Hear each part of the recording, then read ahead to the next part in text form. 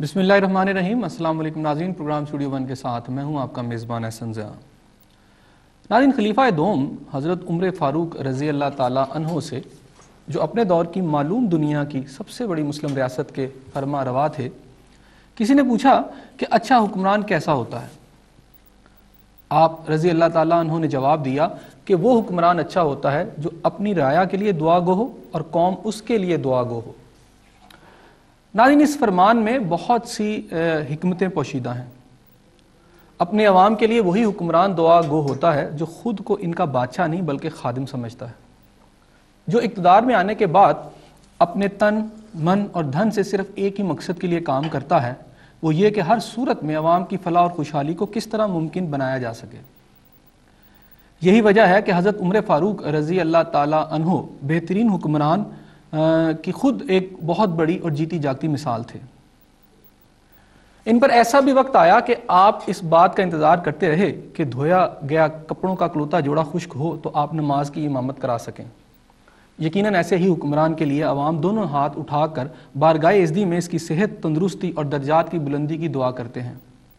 تاہم آج ہمارے حکمران اگر بیمار پڑ جائیں تو انہیں خود سے ہی کہنا پڑتا ہے کہ عوام کی دعاؤں سے وہ روبہ صحت ہیں۔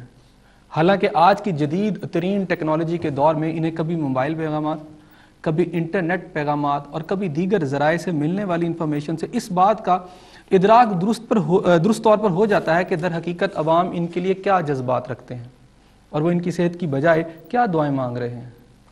کچھ روز قبل صدر آصف علی زرداری کی بیمار ہونے اور پھر اچانک بیرون ملک چلے جانے پر قومی خزانے میں ان کے ہم نوالا اور ہم پیالہ سیاسی جماعتوں کے قائدین اور خود ان کے وزیر اور مشیر میڈیا اور پبلک میٹنگز میں اس بات کا گلا کرتے نظر آئے کہ صدر کی بیماری کو مذاق یا پھر سیاست کا نشانہ نہیں بنانا چاہیے۔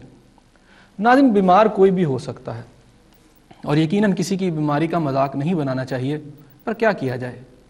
جب حکمران گزشتہ تین، ساڑھے تین سالوں میں دبا کر کرپشن کریں گے، بڑی بے دردی سے قومی خزانہ لوٹیں گے اور ایسی پالیسیاں بنائیں گے جو اس ملک کے انیس کروڑ کے لگ بھگ باسیوں کو فاقہ کشی پر مجبور کر دیں گی۔ جب کبھی بجلی غائب ہوگی اور کبھی گیس جب بڑی سرکاری کارپوریشنیں ڈوب جائیں گی اور حکومت کی اجازت سے امریکہ ڈرون حملوں کے ذریعے اسی ملک کے شہریوں کو بے دریک قتل کرے گا۔ جب صرف صدر اور وزیر اعظم کا سالانہ خرچہ جو ہے وہ پانچ ارب تک ہوگا اور عام آدمی دو وقت کی روٹی کو بھی ترسے گا اور ایسے میں حکومت ہر دوسرے روز بجلی پیٹرول اور گیس کی قیمتوں میں ظالمانہ اضافہ کر کے اس کا معاشی قتل بھی کرے گی۔ تو آپ ہی بتائیں، کیا واقعی اس ملک کے لوگ اپنے حکمرانوں کی صحت تندرستی اور زندگی کے لیے بارگاہ ازدی میں ہاتھ اٹھائیں گے؟ کیا وہ اشکبار آنکھیں جو پہلے ہی ہر طرف سے مایوس ہو کر رحمت خدا بندی کی طرف دیکھ رہی ہیں، کیا ان میں ان حکمرانوں اور باب اختیار کے لیے محبت کی کوئی کرن ہو سکتی ہے جو انہیں آنکھوں میں اشک لانے کی سب سے بڑی وجہ ہیں؟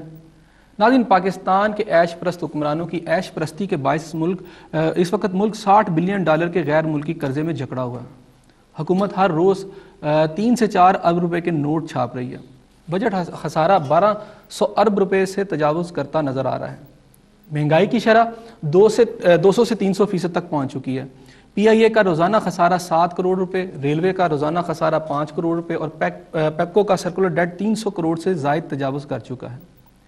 چار مہینوں میں دو دسمبر تک زر مبادلہ کے ذخائر سولہ سو تیس ملین ڈالر تک جو ہیں کم ہو چکے ہیں۔ ناظرین، بڑی اہم بات ہے۔ جب ہمارے حکمران ڈیلیوری نہیں کر رہے گزشتہ کئی سالوں سے اور ہر سال عوام کی مشکلات جو ہے اس میں اضافہ ہو رہا ہے، تو پھر ہم کیوں ایسے حکمرانوں کو چنتے ہیں جو ڈیلیور نہیں کرتے؟ کیوں کیوں عوام وہ فیصلہ نہیں کرتی جو اس بات پر منتج ہو کہ صرف ان لوگوں کو لایا جائے اقتدار میں جن کی پرفارمنس ٹھیک ہو؟ کیوں عوام یہ نہیں دیکھتی کہ حکمران جو ہیں جو ڈیلیور نہیں کر رہے، ان کو اقتدار میں نہ لایا جائے؟ یا پھر ایسا سسٹم ہے اس ملک کے اندر جس کے تحت حکمران چاہے ڈیلیور کرے یا نہ کرے، عوام بے بس ہیں انہیں اپنا قائد بنانے کے لیے، انہیں اقتدار میں لانے کے لیے۔ ناظرین، آج ہم بات کریں گے کہ کیا پرفارمنس بیس الیکشن پاکستان میں ہو سکتا ہے؟ یعنی ایشو بیس ہو پرفارمنس بیس ہو۔ آئندہ جو کچھ ہو چکا وہ ہو چکا۔ آئندہ جب عوام سلیکشن کریں لوگوں کی تو وہ ان کی پچھلی جو پرفارمنس ہے اس کو مد نظر رکھیں۔ یہاں یہ میں بات کروں گا کہ پاکستان پیپلز پارٹی کو اس وقت چوتھا سال ہے، چوتھا دور ہے اس کا حکومت کے اندر۔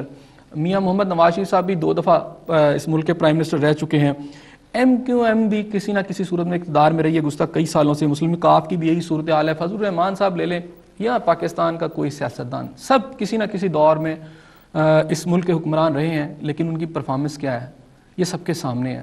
کیا اس یہ اس ملک کو ٹھیک نہیں کیا جا سکتا؟ یا یہی لوگ چہرے بدل بدل کر واپس آتے رہیں گے، عوام کو بیوقوف بناتے رہیں گے، اور بھوکی ننگی عوام پھر اللہ کو پیاری ہو جائے گی۔ ناظرین آج ہم اس موضوع پر بات کریں گے۔ اس موضوع پر بات کرنے کے لیے میرے ساتھ شریک گفتگو ہیں۔ میرے پہلے مہمان ہیں جمشید چیمہ صاحب۔